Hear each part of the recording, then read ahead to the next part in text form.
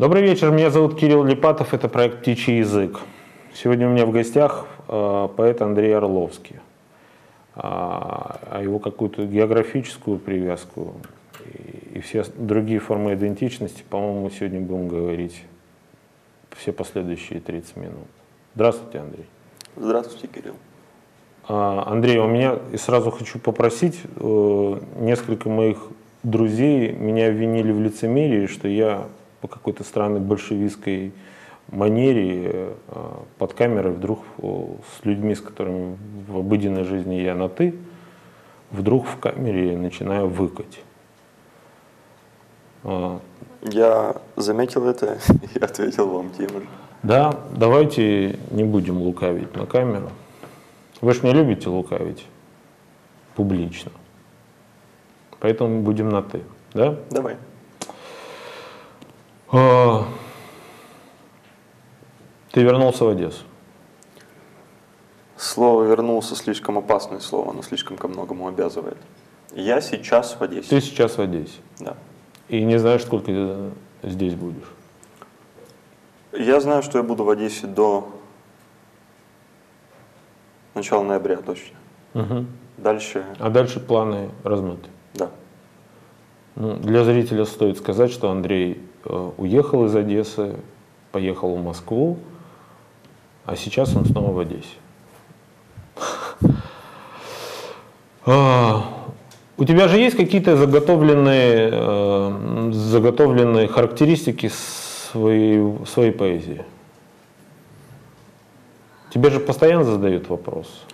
Да, и у меня было несколько таких разговоров интересных которые я выстраивал исключительно на шаблонах, которые уже есть у меня в голове, да, да. которые касаются моего э, жизненного пути или творчества. И было несколько таких очень забавных игр, когда я отвечал только заготовленными фразами, которые угу. я точно знал. Угу. Сейчас я этим заниматься не хочу. Это, это какой-то какой-то особый случай с, со мной или, или просто отказался от таких форм общения? По-моему, я просто, по-моему, просто устал. Что заставляет э, молодой талант э, созревать не там, где он был посеян? Что дала Москва? Москва. Мы с тобой в двух словах говорили об этом, когда находились вне камер. И я приводил следующий пример. Сейчас я расскажу о нем подробнее. Я говорил о том, что Достоевского в «Униженных оскорбленных» роман начинается с того, как герой ищет новую комнату, потому что в комнате с низкими потолками ему некуда думать. И в какой-то момент Херсон, когда-то, когда мне было 15 или 16 лет, стал для меня такой комнатой, в которой я уперся в потолок. А со временем я заметил, что э, такой комнатой для меня стала Одесса. Поэтому я пошел дальше. Я приехал в Москву, и находясь там, я очень многое переосмыслил. И понял, что здесь э, вот этот низкий потолок на самом деле натяжной. Его можно отодвинуть, а над ним сразу звезды. А там он вполне конкретно присутствует скажем так. Я продолжу эту метафору, расскажу совершенно удивительный факт по поводу потолков. Я-то тоже считаю, что в Одессе потолки... Вопрос стоял об уплотнении, что это какая-то старая, старая барская квартира, которая была там уплотнена э, сбоку сверху. Во дворе русского театра есть э, трехэтажное здание, которое было превращено в семиэтажное здание. И делалось оно якобы для общежития а, театра лилипутов, потому что здание русского театра было в Рите в начале 20 века. Представляешь? Потрясающе. Вот у меня такое ощущение, что, что мой родной город это вот, вот такая из трехэтажного здания было превращено в семиэтажное здание. И, соответственно, люди вынуждены ютиться с этими низкими потолками. Ну хорошо, ты с высоким, высоким, высокими потолками Домского собора вернулся сюда, приехал сюда, здесь находишься. Сейчас нет ощущения э, этого, этого такого зажатого пространства. Ты же говоришь, что ты думаешь о новой книге. Вот, скорее всего, из-за нее у меня нет никаких э, нет никаких бытовых ощущений точно. Ни чувства потолка, ни чувства... Сейчас? Да. Ни чувства э, замкнутости, хотя я сейчас замкнулся достаточно сильно. Ни чувства одиночества, э, хотя это знакомое мне чувство. Вот это, это все меня не касается. Сейчас, меня, сейчас мне важна только моя работа, и я погружен в нее. Это новая книга, э, она жрет меня всего, и я работаю над ней уже год, и на протяжении этого года все остальное, кроме этой книги, все, что касается меня, да, за исключением mm-hmm. этой книги, оно стало мне неинтересно. То есть сейчас мне все равно. Э, Одесса, Москва, Варшава, почему нет? Угу. Кейптаун, почему нет? Любой город. То есть вот как Джойс, приезжал, замыкался и писал. У меня есть Неважно моя, где. Да. У меня есть, на данном этапе своего развития я вижу, что у меня есть работа, которую я должен выполнить перед собой, да, то есть угу. я себе ее должен выполнить.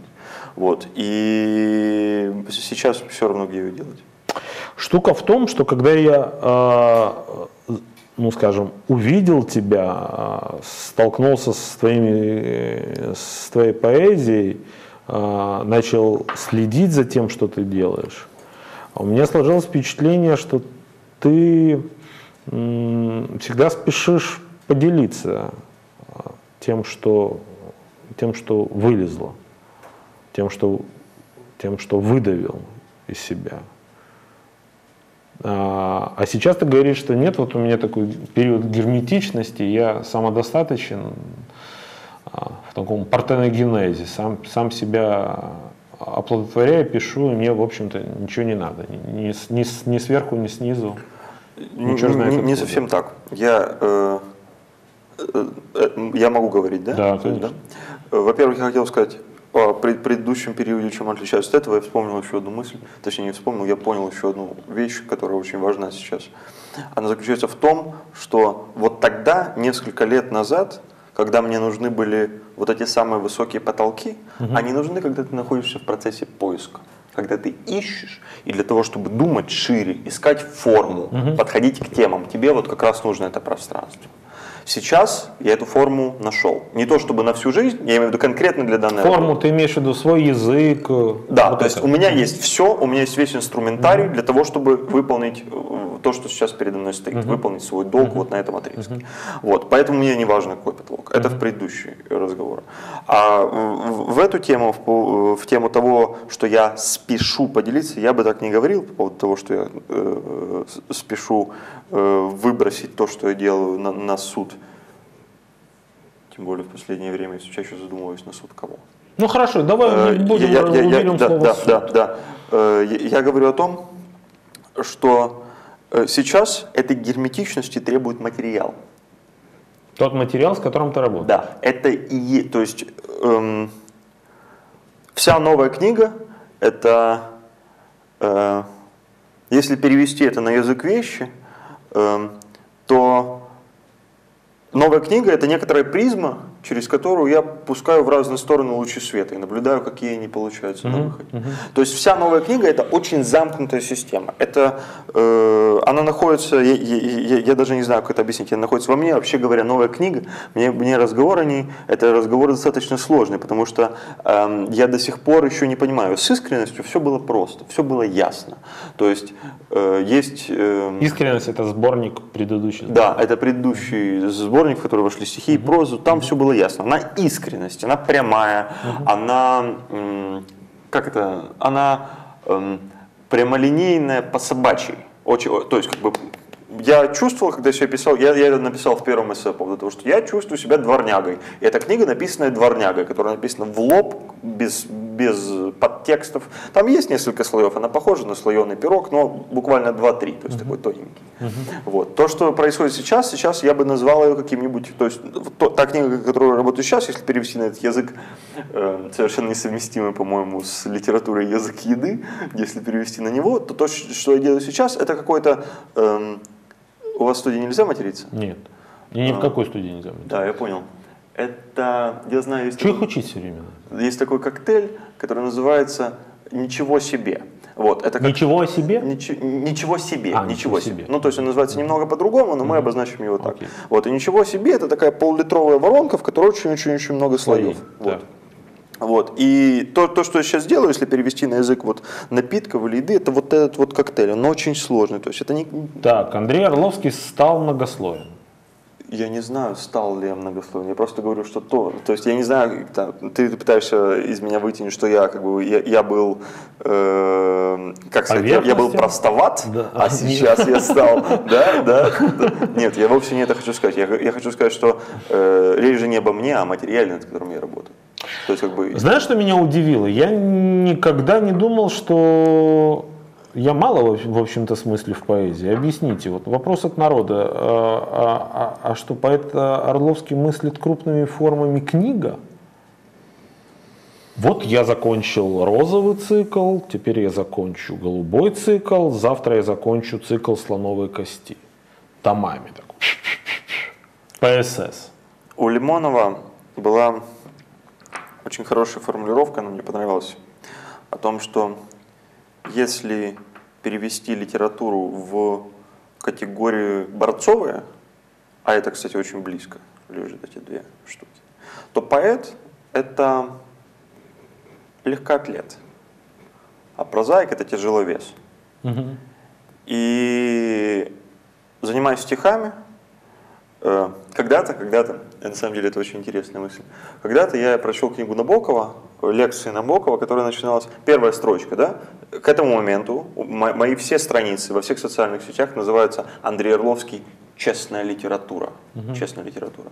Я открываю книгу Набокова, и на первой странице, на в первом эссе читаю строчки. Так начинается книга одного из самых уважаемых написателей. Вся литература – это вымысел, шутка, игра, обман. И, естественно, я тогда вспылил. Так вот, я понял, что это Э, это имеет место быть. И это что? То, что вся литература – это вымысел и обман. Но поэзия – это точно. Да, э, поэзия – это свет. Поэзия – это игра. Да. Поэзия – это очень хорошая игра. И на данный момент я не понимаю, готов ли я играть в игры дальше.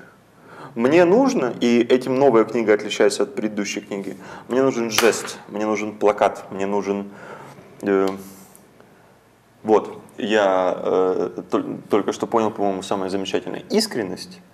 Это предыдущая книга, это мысль о действии. Эта книга – это действие. Я не знаю, сколько в ней будет стихотворений и будут ли там стихи вообще. Вот так. Твой язык чрезвычайно метафоричен. А, и это меня первое, что привлекло а, том, что я слышал из, из, из того предыдущего периода, что ты все время подчеркиваешь, что вот что-то закончилось и что-то началось.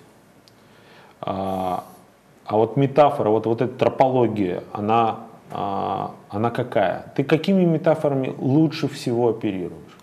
Потому что вот я, например, может быть, в силу э, профессиональной деформации и археолог, я, а, я вещевед, я, мне легче понять э, человека по набору, по вывернутым его карманам.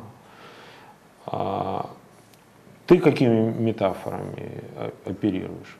Ты думал об этом когда-то? Конечно. И, наверное, больше всего в языке мне интересны два вида слов, два вида метафор. Первое – это слова колючие. Вот, слова, которые Ну, э, иногда это употреблял э, Бродский в поэзии, когда он, работая над стихами, он употреблял в контексте, э, например, в контексте любовного стихотворения, он употреблял слово, например, гипотенуза. Да? И это слово совершенно не подходит здесь. Оно совершенно из другого мира, совершенно из, не из мира чувственного. Угу. Оно такое колючее, оно не нужно, за него цепляешься. Угу. Вот это первое, что мне было интересно. А второе, мне всегда нравились э, слова и обороты, эм, которые, эм, как, как это сказать, э, представь себе, что ты идешь э, по улице, и посреди улицы ты наступаешь на асфальт и проваливаешься, и понимаешь, что сверху лежал какой-то картон, выкрашенный под асфальт. Вот mm-hmm. мне очень нравятся слова вот такие, которые э, на самом деле кажутся, э, они совершенно сливаются с окружающим фоном, но стоит тебе немного на них нажать, и обнажается истинная суть mm-hmm. вещей. Вот эти два типа слов, да, вот как бы второе это их, наверное, стоит поменять местами. Потому что второе для меня больше интересно, э, а первое, о которых я сказал, они просто помогают мне писать, потому что эти колючие слова, ты за них цепляешься как бы, и, ползаешь, и работаешь дальше. А вот Набок, Набоков тебе нравится, как, э, как он работает с метафорой? Как он с тропологией, его тропологией, тропы? Я... Э, ты знаешь, мы с тобой встретились в такой странный период, когда все очень сильно меняется внутри меня. И раньше Набоков, безусловно, был одним из моих любимых писателей. Но сейчас это изменилось. Во всяком случае, в какую сторону? В данный момент я, если Набоков раньше был для меня привлекателен совершенно всем, угу. всем, что он делал, то сейчас у меня из вот этого всего у меня от, совершенно откололись рассказы. То есть рассказы Набокова кажутся мне отвратительными. Да ладно? Да, рассказы Набокова, то есть именно потому, что э, в них я чувствую, что он играет. Это то, о чем он говорил, о том, что мои рассказы, это такой подвид, да, он уже все переводил на бабочек на своих по поводу того, что есть как бы обычный вид бабочек, а есть бабочки, которые, э, ореол обитания которых находится в нестандартной для них зоне, где-то высоко в горах, где-то там в пустыне, угу. и они немного видоизменяются, это такой прототип бабочки. Вот рассказ это прототип романа, вот, и, относ... Э, и он относился к рассказам с таким же образом. Для него рассказ это была такая, и, и я это чувствую, это была игра игра с собой в первую очередь, игра со словом, да, такой маленький черновики роман, но это видно по его рассказам, о том, что в некоторых рассказах сюжеты или некоторые э, словосочетания прямо, да, транслируются в э, его романы. Uh-huh. Вот. И если в романах происходит очень глубокая, очень э, высокого уровня психологическая работа, рассказы это игрушки. Вот. Это не игрушки, это маленькие формы. Это... Я чувствую это отношение, когда читаю его да? рассказы. Да. У меня И... другое. Да. У меня другое. Я вспомнил сейчас такую интересную типологию о, о дискурсивной реальности Поля Негри. Негри говорил, что все люди делятся на части речи. Есть люди-глаголы, не просто по частоте употребления – да, я понимаю. А есть люди существительные, есть люди местоимения, есть люди числительные, есть люди прилагательные, а есть даже люди междуметия. Да.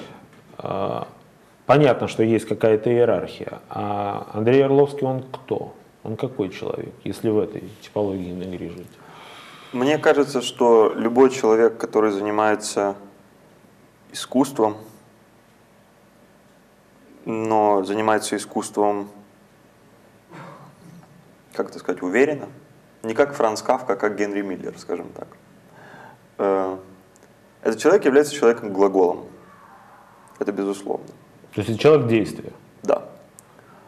Э, ну, я, я, я убрал, да, из ряда Франца uh-huh, Кавку. Uh-huh, uh-huh. Но то, что касается меня, я бы сказал, что человек прилагательный. Да? Я согласен. Потому что я, я тоже думаю, что наблюдатель. человек прилагательный. Да. Человек прилагательный – это человек, который из, э, он, знаешь, как, как э, летучие мыши, которые ничего не видят, они пускают какие-то вот своим радаром этим, тонаром этим, какие-то волны, а потом получает э, от предмета назад, обраточку. И человек прилагательный, я просто так уверен говорю, потому что я тоже человек прилагательный, это я понял. А, они, эти люди всегда э, э, соизмеряет, э, ну, как бы воспринимает мир через отношение себя к ним. Вот как летучие, как слепые летучие мыши. Они вот к чему-то всегда прилагаются.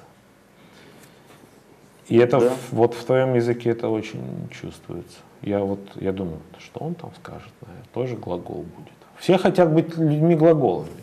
Я это тоже заметил. А ты теплый или холодный? Был или есть?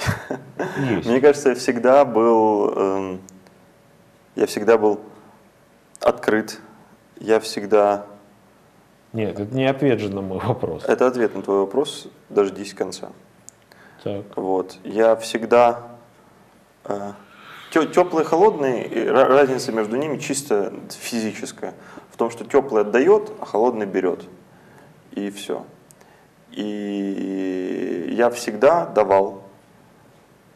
Но в последнее время из-за сложности, я, я действительно взвалил на себя сейчас очень, э, очень непростую работу с этой книгой. Вот, в последнее время я только беру.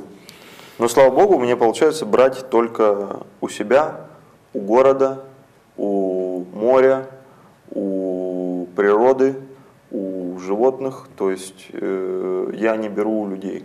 Вот когда, когда человек публично в этом признается, то всегда хочется повесить какой-то чумной колокольчик тебе на шею, как в средневековье, э, и говорить, вот, дорогие граждане, люди, дети, держитесь от Орловского подальше. Он сейчас заявил, что он только берет, хотя всегда раньше давал. Я не буду тебе задавать вопрос, почему произошла такая э, Это все разговор, ты понимаешь, это все разговор о новой книге, а я не могу говорить о ней компетентно. Вот воскресенье э, на афише, у меня сейчас два концерта, в субботу и воскресенье. В воскресенье на афише концерта написано э, проза, э, диалог и черновик новой книги. Э, естественно, я никому не покажу черновик новой книги. Угу. Я покажу некоторые идеи, которые лежат внутри. Но черновик, как можно показывать черновик? Это, естественно, запрещено. Вот. И я мог бы очень много рассказать. Это все особенности работы над книгой. Хорошо, ладно, это твоя мастерская, в которой ты сейчас живешь и ни в каких других комнатах не бываешь. А, что, что мы еще планировали обсудить, это твое несогласие с, с с тем, что я тебя вписал в новую искренность. Я-то считаю, что Андрей Орловский – это, а, наверное, самый яркий в Одессе представитель этого, этого культурного феномена, потому что это не поэзия. Новую искренность я вижу а, в кино, новую искренность я вижу в театре, новую искренность я вижу даже в политике. Я глубоко убежден, что новая искренность – это какой-то такой тренд последних десяти лет – может быть чуть больше, в котором, в котором так или иначе э, есть яркие, а есть худшие воплощения. А ты вот сказал, что не, новая искренность это а, Нет, Владенников. Одну секунду. Когда ты это говоришь сейчас, ты говоришь мне, я считаю, что да, новая да. искренность это раз, два, три, четыре, пять. Ты, ты относишь себя к ней? Ты сейчас говоришь так, там ты сказал, ты новая искренность. Mm-hmm. Последние несколько лет я прожил в Москве, там, где словосочетание новая искренность напрямую ассоциируется эквивалентно. Ну, потому что Воденников, условно говоря, Воденников ее транс... приватизировал. приватизировал и перевел через, через с английского на русский язык. Понимаешь? А, еще раз, всячески хочу подчеркнуть, что когда я заговорил о новой искренности, это вовсе без привязки к заглавию твоего Да, я, я, я, я, я понимаю это, но э, я не знаю, э, чего ты хочешь в ответ. Это твое мнение, я не могу его, наверное, прокомментировать. Ну, то есть это как сказать, твои стихи хорошие, плохие, такие, такие, такие, это хорошо, оценка. Хорошо, это оценка. Я, нет, это не оценка, я объясню. Э, тогда я должен объяснить, как я понимаю новую искренность, чуть шире, чем там э, язык воденников.